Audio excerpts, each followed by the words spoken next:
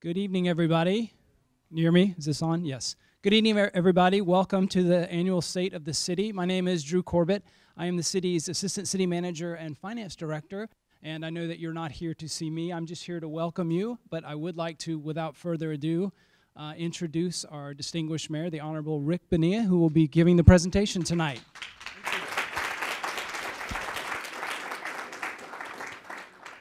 Thank you, everybody. No need to introduce myself. Thank you, Drew, very much. Uh, welcome. I want to thank all of you for being here tonight at the San Mateo 2018 State of the City Address. Um, I'm the mayor, Rick Bonilla. Um, thank you for coming to spend an hour with me while I'm explaining to you what we've been doing and what we're going to do going into the future. For those of you who don't know much about me, I've lived in San Mateo since 1991 with my wife Suzanne. We live over in Hayward Park uh, near the Central Park. Um, since being appointed and then elected to the City Council in 2015, I was reelected in 2017, and I'm now the mayor this year. I've been a strong voice in supporting families, neighborhoods, businesses, and workers in San Mateo. It's been my honor to serve as a council member and now as mayor. I want to recognize any city council members who may be here, although I think they got stuck in the traffic. I also want to mention our city staff. So tonight we have Kathy Kleinbaum, the deputy city manager. Yes, there she is. And we also have, I think, Steve Machida, the deputy director of the Public Works Department. We have George White, the director of the Community and Development Department. And I have these experts here, uh, along with some of their staff, because at the end we're going to have question and answer. And I want to make sure that uh, being an amateur at this and not really knowing all of the answers to all of the questions in terms of all of the facts, if I get a question that requires some deeper dive, a little more attention, I'm going to have the ex-seasoned professionals uh, give you guys a good, decent response so we don't get any less than factual responses to anything. I have a presentation to share with you tonight. Because I have a lot of points to cover, I'm going to be a little measured in, in my, I have a lot of written, written material here. You're going to be able to see the slides. I'm going to put some meat on the bones of the slides. Uh, I want you to ask that you hold your questions until the end of the presentation. If you need to jot them down, find something to write on, I hope. Um, at which time there'll be plenty of time for question and answer. So I want to start right off talking about the budget. And as an overview, tonight I'm going to provide an update on the financial overview of the city. I will review the notable accomplishments and what lies ahead in new initiatives and priorities for public safety, sustainability, parks and recreation, public policy, transportation and infrastructure, housing and development. And now, a few budget highlights. San Mateo's financial outlook is bright. San Mateo has long been recognized for being a fiscally fit and well managed city. We have received several awards for excellence in accounting, and our budget is very well maintained. The city has experienced ongoing and steady growth of hotel and property tax revenues. These have driven the city's ability to contribute to our already healthy, prudent reserve. Right now, we're in the second year of a two year budget cycle. Our total budget is 293 plus million dollars, of which 159 million is operations and the other 134 million is capital improvement programs. And you're going to hear about a lot of capital improvement programs as I go through this. Uh, we have Measure S sales tax that the voters approved by 70% back in 2015.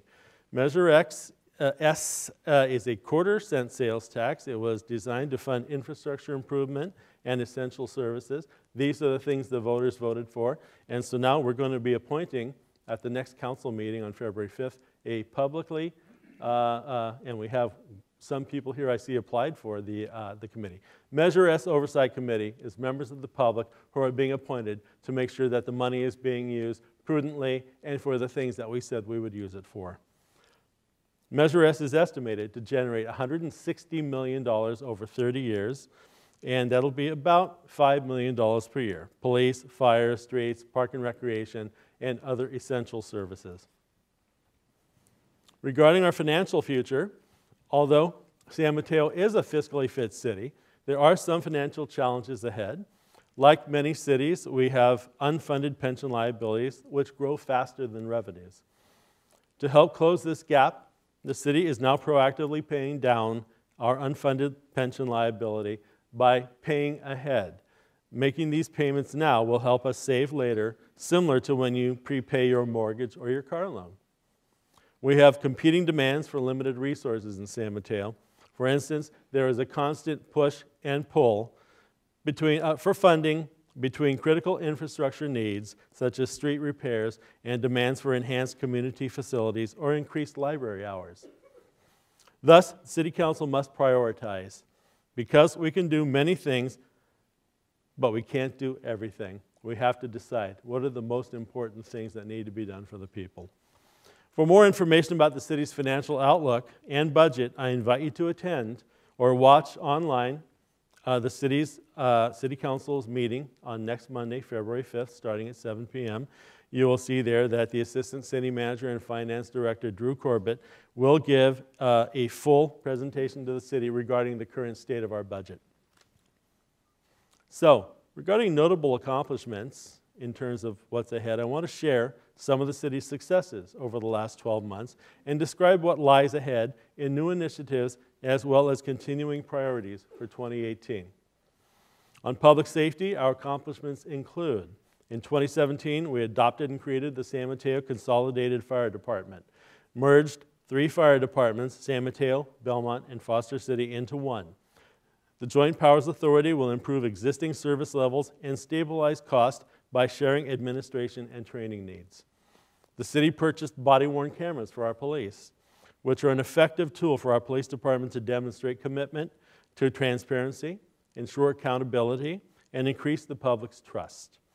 In protecting the general health and well being of the community, the police department updated the city's smoking ordinance to regulate smoking of marijuana inside multifamily uh, uh, residential dwellings as well as parks and public gathering spots.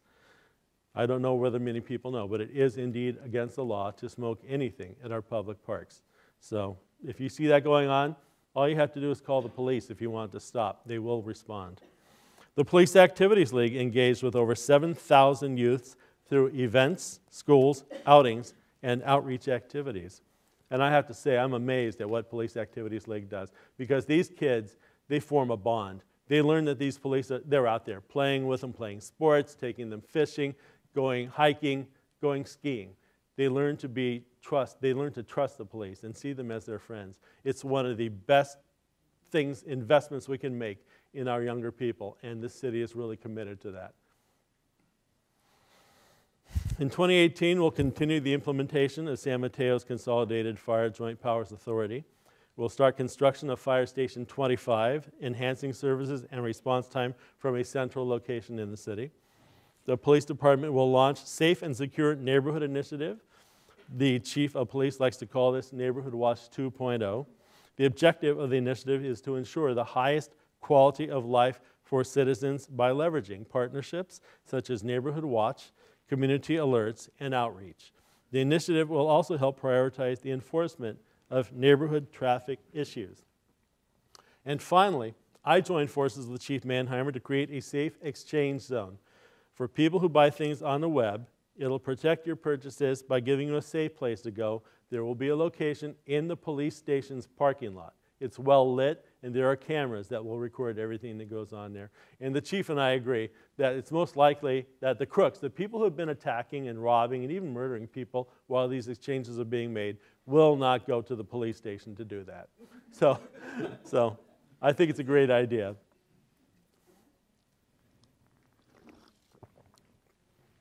In 2017, the following sustainability initiatives were accomplished.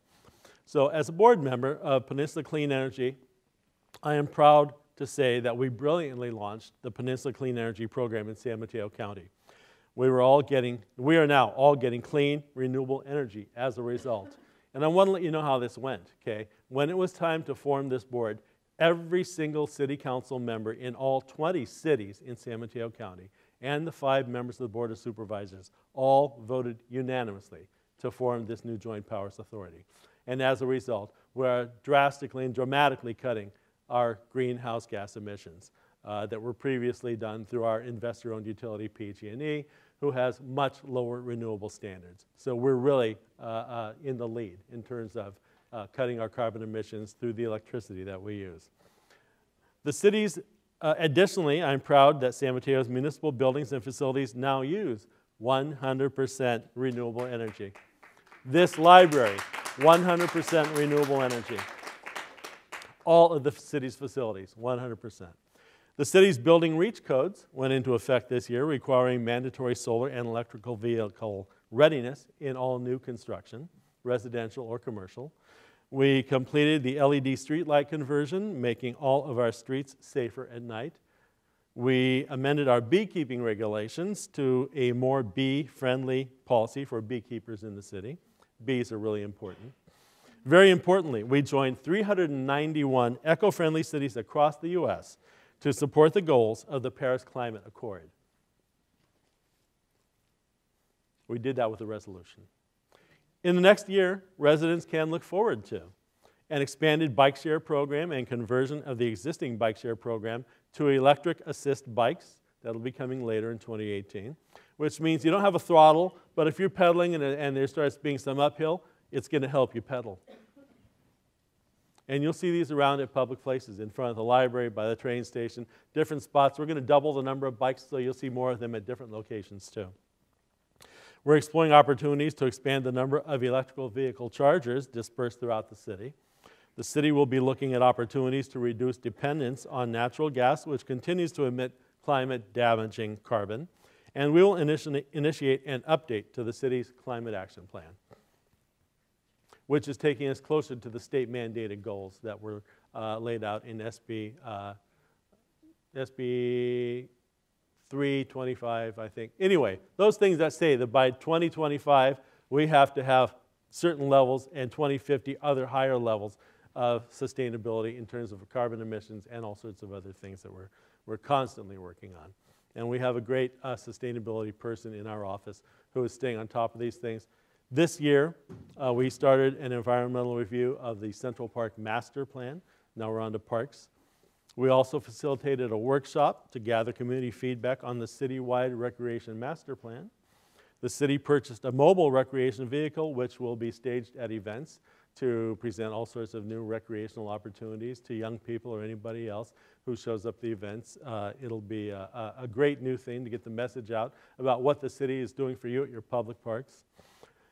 We were thrilled to stage the Winter Wonderland in Central Park, and we contracted with San Mateo on Ice to operate the seasonal ice rink in Central Park for residents and visitors to enjoy. Almost every night that thing was just packed. The kids love it. Everybody was out there. Um, I went out there several times to watch. The park is fun in the winter. City Council facilitated the opening of the Bridgepoint Ice Rink. And I want to give special recognition to Councilmember Joe Goethals, who, though all of the council members and the Planning Commission stood firm on our reluctance to, to grant a land use change to the owner of that property when he wanted to change it to something else. Um, Joe Goethals really went the extra mile. He went to bat. He went there and got the land, uh, the, the owner, the property owner, to really change the way he saw things. He backed off, and we were able to get that rink reopened. Young people are really appreciating that. And we also completed Poplar Creek Golf Course alternative study. The golf course is safe where it is for a number of years uh, into the future. We completed the renovation of the Laurie Meadows Park Playground, and we added 29 new community garden plots at the Los Prados Park. This year, Parks and Recreation Services will continue to work with residents to update the Central Park and Recreation Master Plan. These plans will shape, help shape the San Mateo community facilities, recreational facilities needs for the next 50 years. It's really critical. We need to make sure that we have top of the line opportunities for people to go out and recreate at our public parks. We'll be seeking public input regarding installation of a synthetic turf field at Martin Luther King Park, which is heavily impacted by rains in the winter and becomes unusable. I'm proud to announce Get Around, it's a pilot program to help seniors, San Mateo seniors, increase their mobility. We launched this just at the beginning of this month in 2018. Serra Cab Company is the service provider.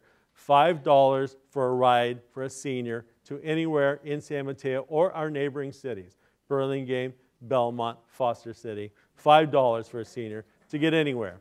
Just call this, this uh, cab and you'll be able to get there. And if you need to find it, Um, we have 84 registrants already as the, at the time of the writing of my, my report here. And if you need to find it on the website, you go to San Mateo Rec, that's sanmateorec.org. And you can use the search term senior transportation or sign up directly at the San Mateo Senior Center if you go by there. It's a great opportunity, and I encourage all the senior people to use it so that the pilot shows that there really is a high demand for this, because I think it will help a lot of people get out and be able to do the things they need to do. Regarding public policy accomplishments, we completed a city website redesign. The website now is attractive, functional, and sleek, and I find it a lot easier to use. So I'm hoping other people do too. Previously, I had to use the search window a lot trying to find things, and you get 10,000 responses. Now it seems pretty easy to get whatever you're looking for pretty quickly. This year, the council approved a welcoming city resolution, and we will continue to be an inclusive community and help newcomers with long term economic and social integration. We're in the second year of San Mateo's minimum wage implementation. As of January 1st, the new wage in San Mateo, minimum wage in San Mateo, is $13.50 per hour for private companies and $12 per hour for nonprofits. The plan is to reach $15 per hour by January 2019. In public policy in 2018, the city will continue to implement the minimum wage policy and offer assistance to neighboring cities who are now trying to adopt a minimum wage policy.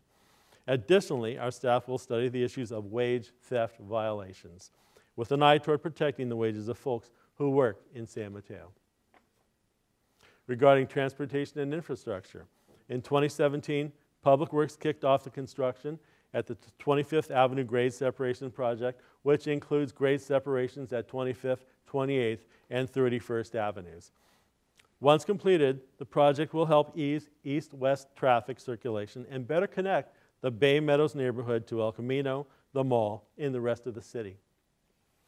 Our Highway 92 and El Camino interchange is close to completion, and what a great safety improvement that is. Already, the weaving that was going on when you got up onto Highway 92 has been eliminated. Although some of the actual entrances to the freeway are a little short, the project's not complete. They're going to straighten all that out. It will be much safer at the end of the project. Last year, we awarded repair of 1.8 miles of failed street repairs. Since 2014, we've replaced 5.2 miles of failed streets.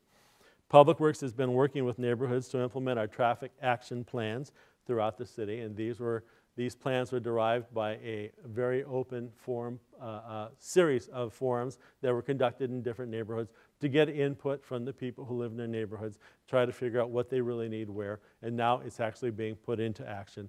These uh, different uh, traffic calming devices, traffic cushions, uh, bulb outs, uh, the flashing pedestrian lights, and so forth are being implemented throughout different parts of the city. It's going to slow traffic down and make it safer for pedestrians and bicyclists to be able to get around. The Clean Water Program is continuing to plan for necessary upgrades to the wastewater treatment plant and collection system. Just last week, I was in Washington, D.C. with council members Papan and Freschet, lobbying the EPA for a low interest loan to help keep our sewer rates as low and affordable as possible. What's ahead for transportation and infrastructure? A lot. In the new year, the city will continue to work with the neighboring cities, counties, state, and federal governments to mitigate the regional traffic impacts that we all feel every day. We will continue to work examining the 101 managed lane proposal with Caltrans, and we will continue to seek grants to alleviate traffic congestion. For example, the city has been successful in lobbying the county and is on the short list for a $2 million grant to help mitigate traffic for the Highway 92 and 101 interchange project, a major bottleneck where we live, which forces cars off the freeway and onto our surface streets. It's one of the main reasons why we see the level of surface street congestion that we see. We will continue to work on the North Shoreview and North Central Neighborhood Flood Protection Project. We will continue to work on implementing our traffic action plans. We will continue replacement of 400 plus high voltage streetlights with more efficient low voltage systems that will be LEDs and transmit plenty of light, keeping our streets uh, safe and sane out there uh, for pedestrians, bicyclists, and drivers. We'll fix four miles of failed streets this year. We will install twinkle lights, and I mean failed streets. These are streets that need major work. not streets that are going to just get a little scraping and a new surface on them. When I say fix failed streets, that's a major project. That's the streets that have the bumps and the, and the dips and the cracks. Those streets are being replaced, and we will have good quality streets there. We will install twinkle lights on B Street between First Avenue and Fifth Avenue uh, downtown, and they will shine all year long. Some cities only light them up for the holidays. Uh, we have found in discussions with people that actually, if you light the streets up like that, not only does it enhance the pedestrian experience, it makes the place feel more uh, uh, festive and it attracts more customers. People feel safe walking around where it's well lit. And finally, we'll pursue a no horn train quiet zone for at grade crossings in San Mateo. So, where now the trains currently have to blow their horn under federal regulation, they have to blow their horns for safety every time they cross a street that's at the same grade as the train. They have to blow their horn. Then they have to blow their horn at stations. But if we implement these new quiet zone projects, then there will be extra crossing protections that enable us to tell the, the uh, train operators that no, you need to stop blowing your horns at these locations. We have 11 crossings in San Mateo. Some of them are grade separated, but right downtown, I think there are between 9th and, uh, well, between Hayward Park and the station at the north end of town. There are like six or seven different places where they have to blow their horns. We're going to eliminate at least five of those. So that'll make it a lot quieter at night when people are trying to sleep. In housing and development, we have the following accomplishments. The truth is that San Mateo is considered a very desirable place to locate, and it continues to be a hotbed of real estate activity on the peninsula. For example, 850,000 square feet of commercial development is currently under development. Much needed housing is being developed in response to the housing crisis that we are experiencing. One of our most recent successes is the approval of 68 all affordable units at Bay Meadows. In my belief, it is my belief that San Mateo understands the housing demands. We will seek to continue work on helping to resolve the region's housing and job imbalance by allowing the production of new housing units built close to public transit while simultaneously working to improve bridges, highways, and mass transit, thus relieving local congestion from our roadways. This year, we will start to envision what San Mateo will look like in 20 years with our General Plan 2040 update.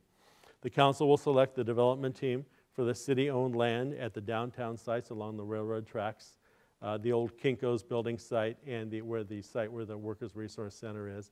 We're currently evaluating uh, proposals and deciding what kind of development would be appropriate for those sites. Don't worry, all the parking that's there will be replaced and more. We're going to add 300 spaces for downtown's use on those sites. Hillsdale Mall renovations will be finished with a luxury cinema, a bowling alley, entertainment center, and a new outdoor dining terrace for all to enjoy by the end of 2018. San Mateo remains a food mecca with recent eateries like Tin Pot and Blue Bottle opening at Bay Meadows and Roam Burger in downtown.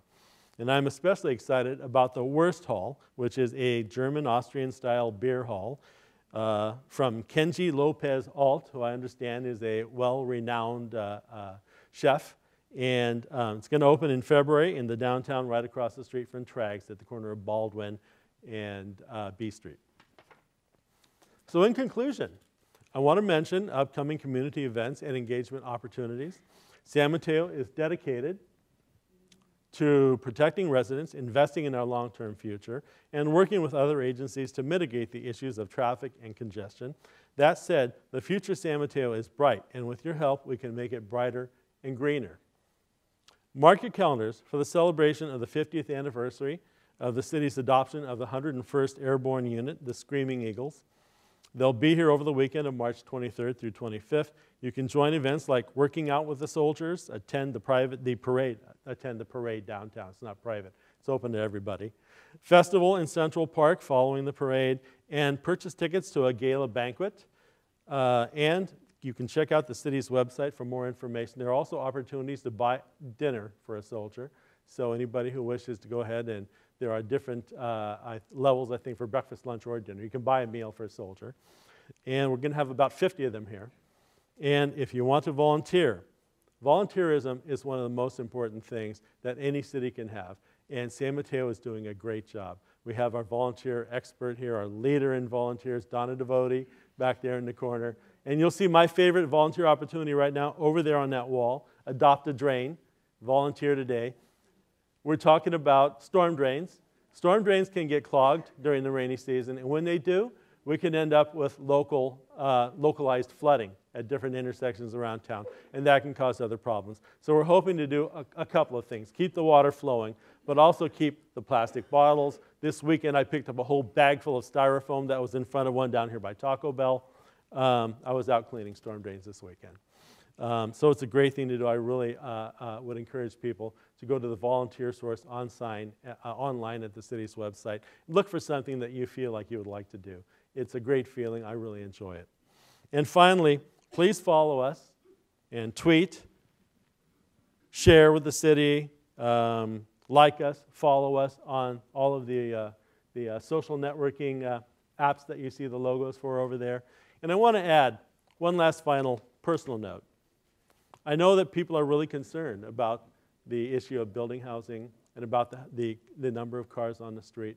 And I want to say that these are things that have developed in San Mateo over the last 40 years. We have huge regional issues that are causing uh, uh, uh, what we see on the freeways and it overflows onto our city streets. For many years, we built offices, employment, a lot of employment on this side of the bay while not really building sufficient housing for people to live in. The people who come here to work from the other side of the bay are the people who are clogging the bridge, getting off the freeway at the 101 and 92 intersection, driving around our streets. They're just trying to get to work, really. But um, uh, there is no magic wand. This is a regional issue. All nine Bay Area counties, 101 cities are experiencing this issue. Uh, so, just like the proverbial death by a thousand cuts you've heard of before, we need to get active and be positive. We need to seek success and achieve success through a thousand positive actions. Like I said, no magic wand. But there's a whole list. Actually, right now, if you go on the internet and you look at getusmoving.org, it's a county program, there, there's a list on there as one of the slides of about 20 different things that we're looking at doing that will help relieve this situation. I would encourage people to go look at that because there's some information there that if you haven't seen it, will give you some hope for the fact that over a period of time, if we continue to do all the right things, we will see relief from this situation. So, that said, I want to thank you all for being here, and I wanted to open it up for questions. Um, if anybody has any questions.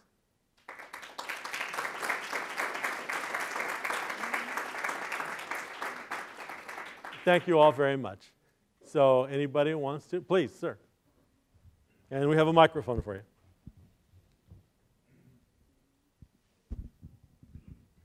Um, I want to ask about the, the county and, and Peninsula uh, Family Services Age Friendly Cities Initiative. I didn't hear any mention about that, and I, would like to know what if the city's committed to that and, and how they're organizing or what the plans are to support that. Thank you. It's a good question because we are experiencing the aging of many of the people in our population. The percentage of aging people is growing in San Mateo, as it is in many other places. And I did attend the uh, uh, forum that was put on by the Peninsula Family Service down at the Prado Center. I had to leave a little early. I think I left around lunchtime. But I want to say I met with Heather Cleary, the director of Peninsula Family Service, just last week. And I'm definitely in favor of doing whatever we can to make this city a more senior friendly city. And I know there are many different specific measures that have been called out, different things we can do. I'm committed to making that, some of those things at least, a reality. They're going to help make this a better place for our seniors to be able to get about safely and efficiently uh, uh, without having undue barriers and hurdles to overcome. Thank you for the question. Right there, yeah. We'll get over here in a minute. Hi, Mayor Bonilla. Could you give us more details on the status of the downtown plan and what's coming up with that? Okay, status of the downtown plan is the question. Uh, we've had a series of forums. We had some that were workshops in this very room, and we had other ones that were taste and talk, uh, basically lectures with slides informing people about different things that can be done in downtowns. Right now, we have pretty much run our course with that. We're embarking on the city's general plan. The downtown plan will be folded into the general plan. The general plan is a much larger plan that, that actually forms an outlook right now through 2040. And uh, uh, we're seeking lots of public input. There will be many public meetings. We're hoping to get people to come from all the different neighborhoods and all the different walks of life to provide us with your ideas, your hopes, your dreams for what we can do in San Mateo to be a better uh, public serving city and one that is able to grow into the future without some of the issues we're experiencing right now. The general plan is about finding ways to overcome some of the issues we're facing right now. Thank you. Next. My next time. Hi, I'm Mike Nash, um, and I wanted to confirm that your presentation will be on the website Yes, it will. and follow-up information on particular programs, like the, I'm very interested in the electric charger program, but the level of detail wouldn't be appropriate tonight. I assume you can see that on the website? Yeah, Okay, so this presentation will be on the website, and you can find all sorts of other information. And I'm going to ask somebody to actually, if somebody can let us know where you can find information about the city's electric chargers that are available uh, around town. Does anybody have? Can somebody make some? Kathy, please make some comments about that. Um, so there's several places. So we do have a downtown parking website that has locations of our chargers in all the various city parking garages. Um, we currently have them in three locations in the downtown, as well as we have a sustainability page, which is off of the city manager's website, which has a lot of information on the various sustainability programs that we're um, looking into as the city. I want to say that we also have a sustainability commission that meets once a month, as long as they have agenda items, right? We have an existing climate action plan. You can look up the climate action plan on the website. And, um, and it's a very proactive climate action plan, but we're working this year on updating it and making it better. Yeah. Okay. Yeah. Okay, and then we'll let them have it from, okay. Just for those of you who live in Baywood, the homeowners association is having its annual meeting on February 11th at the Baywood School, and the general plan and the update to the downtown plan are on the agenda. And Ron is, uh, Ron Munekawa is going to be speaking. There's there. Ron. Yeah. And it starts at two. So Thank you very Thank much. you. I, I just want to ask anybody who's the microphone to please hold it up to your mouth because when you hold it like this, it doesn't work as well. Yeah, I want, I want to thank the city for the work that it's doing in uh, reducing uh, carbon emissions. It's uh, very, very important uh, to me. Um, last summer, the county came out with a, vulner- a sea level vulnerability assessment. Um, and um, in light of that, I was wondering if you could talk a little bit more about the wastewater treatment project, um, its cost, and uh, what's going on with that, uh, the progress on that. So I can try a little bit. I also have uh, Kathy Zammit here who I can call on to try and fill in uh, some of the blanks that I may leave. But uh, our clean water program is basically a $900 million program that will stop our sanitary sewer overflows. It will bring us into compliance with the cease and desist order that the state issued in 2009 to stop having sanitary sewer overflows. It will improve our plant and our collection system so that we can handle the increased flows that come during winter storms. Because what happens is in our city, in many places, we have older sewer laterals. Many of them are terracotta pipes. Some are Orangeburg. I know this is probably more than most people want to know. But they crack, they break, and as soon as that happens in soil that's full of storm water, that water just shoots right into there like it's being sucked in.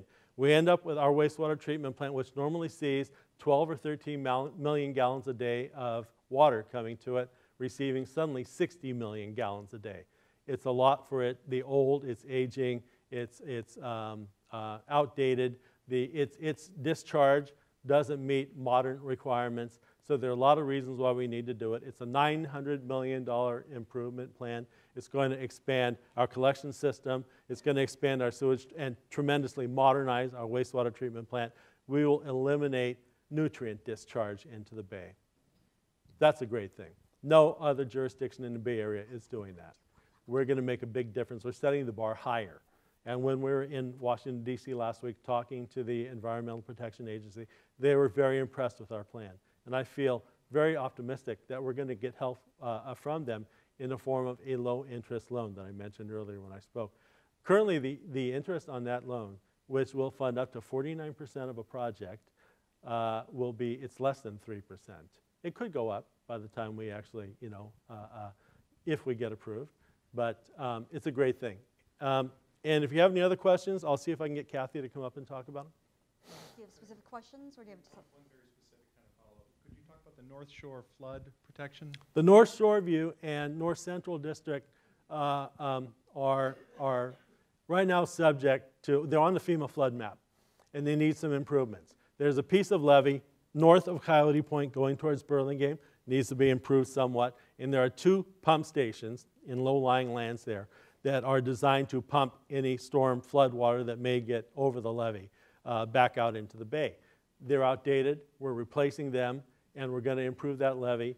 Um, and uh, uh, the people right now basically are going to be voting in, in, in their own district on a flood assessment district to be able to assess themselves for I think it's about 10% of the cost of doing the work. The rest will most likely, the city will, will come up with the funding to do it. It's something we need to do to get the people out of the FEMA flood zone so they can stop buying very expensive flood insurance and protect them. So a, a man here in green, and then the lady here, and then the lady there. Quick question. Is there any interest, Mr. Mayor, of bringing BART down to San Mateo or beyond? So this is a question that's been around for a long time. And uh, it went away there for a long time. And now that we're experiencing the transportation crush that we're seeing, uh, the train is full. Though we're electrifying it, right now it's like I see sometimes, sometimes I stop just to watch what's going on at the station. When the doors open, a few people get off, and a bunch of people are trying to get on with bikes and everything else. It's full going in either direction. And so that's why the electrification is going to be a great thing. Instead of having five cars in each train, there will be six. Um, and instead of running five times an hour, it will run six times an hour. And the ridership could go from the current around 60,000 a day to around 100,000 a day. So that said, do I think that's enough? No. I think we do need to look at additional mass transit. And I think looking at connecting BART from Millbrae to where it's going to terminate in San Jose or someplace in Santa Clara County is a very important thing to look at. I don't think we can take any transit options off the table right now. So yes, I, I think, and, and I definitely support looking at that. I have two questions. Um, one, there's a fire station on the corner of Alameda and Barneson that they're talking about moving. Um, what's going to happen with the land up there? Um, and then I have a second question, so I'll let you answer that one first, then I'll ask my second question. Okay, regarding the land, George, do you know exactly what the plan is for that? I mean, I spoke with the chief, and it's my understanding it will be surplus land and we'll probably sell it. So, I think if I heard the question correctly, it was about Fire Station 25? the new Fire Station 25, corner of Barneson and Alameda. it- it- When we open the new station and the firemen move over, what will be done with that land? Yeah, I, I don't know what the disposition of the existing station Yeah. is. That's Yeah. really not our part of, of, Yeah. of the process. Our part is the Yeah. development of the new station. Yeah. So I'm not sure about the disposition of the, of the existing I'm sorry. station. I'm going to get the answer for you. I'd like you to email me, and I'll respond to you. Sure. Um, so, you know, as we make codes and there's different codes that you guys pass, um, I've been having some issues with code enforcement, and I'm wondering if there's any um, plans to expand code enforcement hours or staff because it's limited to Monday through Friday, like 8 to 5, and sometimes things happen on the weekends. And so I'm just trying to get a sense for plans. We have George to answer that question. Yeah. Uh, no current plans for expansion, though we're certainly open to suggestion. Okay. So include that on your email. Yeah. Yeah. I'll be happy to uh, carry that forward and ask some questions about it and see what I can do. Okay. Other questions, anybody? Okay, then I guess everything must be great. in this- Okay, Adam, go ahead.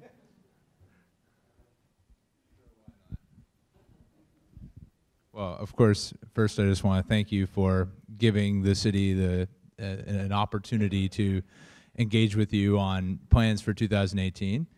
Uh, I was just kind of curious because you gave a very quick intro in the beginning, a little bit about yourself, um, and I, and I think when we saw these slides, it it, rec- it discussed uh, priorities that the city is taking. Um, but I I guess I just wanted to ask what your priorities might be, um, more specifically, and, and what do you think this year will, will hold for the city of San Mateo that, that will allow people to take away and say, yeah, this was what uh, San Mateo did under a Rick Bonilla mayorship, for example. Like, uh, what what are you especially excited about um, re- regarding some of what you uh, showed us, and is there anything you know uh, that you think will be uh, different uh, with you as mayor than with others?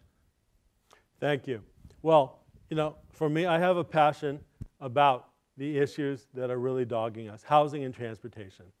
Housing is something that, uh, uh, and transportation, they go together. You can't talk about one without talking about the other. People are, some people think we already have too much housing and we should stop building. Uh, but I know that you can't stop building because we have so many jobs here that if we stopped building, we would literally, and I have a question for anybody that says that. Do you think that if we just stopped building today, that all the cars that are on the road out there now would just disappear? That we would go back to the way it was 10 years ago? No, of course it wouldn't happen. No. But we need to, at the same time, while we provide much needed housing for people, and it has to be efficient housing in the right places where it's accessible to transit, the train, uh, uh, uh, uh the bus on El Camino, um, the freeway, on and off ramps, whatever. It has to be someplace where it makes sense to build it, not just anywhere. We can't just build, and we need some heights and we need some densities. For years, we've been, we've been having limits on our heights and densities that, that I think have really kept us from doing what we need to do. And they could actually be, in San Mateo, part of the reason why we have some of the issues that we have with traffic and lack of housing. Very high cost of housing. We have some of the highest cost of housing in the country, and indeed, I think, in the world, right here in San Mateo County. Um, and I can describe specific uh, cases, but it's crazy. Most people who work, let's say you work at the bank and you're not the vice president, you can't afford to live here. You work at the library, okay? And uh, I mean, I think maybe even the top level employee here at the library can't really afford to buy a new house here in San Mateo. And it's hard to rent a place. I saw recently where one bedroom apartments are going for nearly $3,000 a month. Okay, so we have to do something about that. At the same time, though, we can't stop and not do anything about transit. We need tremendous mass transit improvements. We need to get people from here to there, wherever they're going, in fewer vehicles.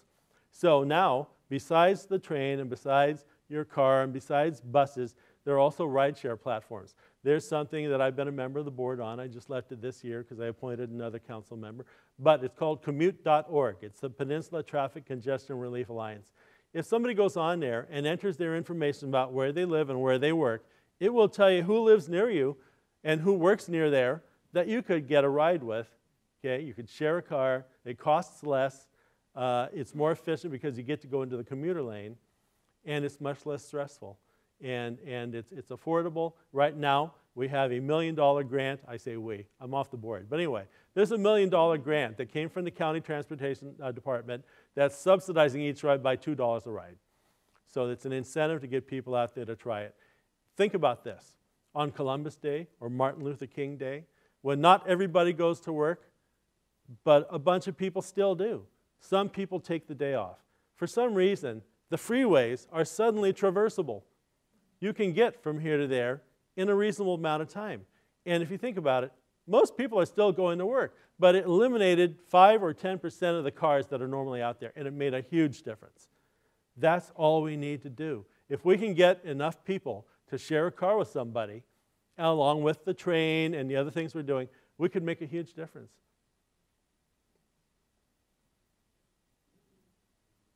Take a look at commute.org. Any Last other call questions? for any other questions? Here we go. Again. I like this guy. So, you know, in my opinion, the um, resolution to the traffic problem is going to require more infrastructure. That's correct. And I'm wondering, do you think there's any stomach for putting in something like a monorail that traveled north-south? So it's an idea I've heard before. Um, uh, uh, I, like I said, take no idea off the table right now, okay? Because anything we can do that's going to help needs to be examined for viability. Um, uh, let me just tell you right now the 101 and 92 improvements that are being looked at I saw uh, a presentation the other day that said, well, they should cost anywhere between 15 and 160 million dollars. That's a pretty wide range. You know, I'm thinking to do what we need to do to get cars actually moving there, it's going to cost a lot more than 15 million in today's dollars, right? Uh, and construction is in a very high cycle right now. Construction projects are costing money. Um, so I'm thinking, no, it's more like 100, 125, 150 million. It'll happen at some point in the future because it has to happen. That intersection. And, and so then there's something called the Regional Measure 3, which is looking at raising tolls on the bridges to help jurisdictions that are suffering from overflow impacts from the bridge do things that are going to reduce and mitigate those impacts. So Regional Measure 3 talks about raising the tolls on the bridge possibly as much as $3, right? Which is, somebody might think, well, that's not a lot of money. But if you're a person who's working here at the minimum wage and, and you live over in, in Tracy because you can't afford the rent until you get out there, it makes a big difference. So that's why I say we have to look closely at everything and think about the equity as well as, as the practicality. Anything else? Okay. If that's it, then I guess the meeting's adjourned.